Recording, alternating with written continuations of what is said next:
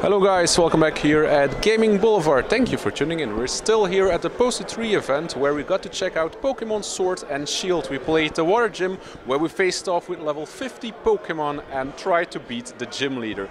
Let's find out if we succeed.